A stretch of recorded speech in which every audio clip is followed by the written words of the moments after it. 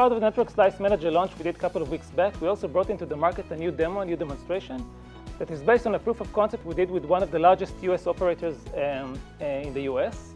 And this demo showcased the process of bringing Network Slice to life. Uh, using a real integration, a live integration into Mavenir 5G Core.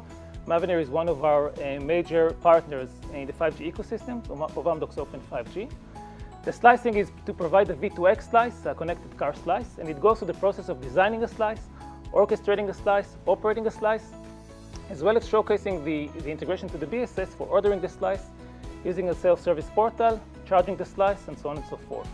We have three main players. The first one is NXT, which is the actual service provider, the mobile operator.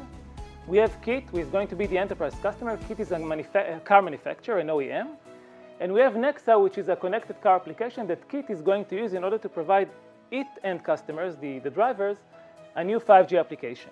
You can see the Slice Designer is uh, uh, running on Mavenir Core. What we're going to showcase in, the, in this demo is just the 5G core. Uh, it's integrated into Nexar, as we'll see in a second. And we're also going to see some integrations into the BSS layer, including charging, self-service portal, and other elements.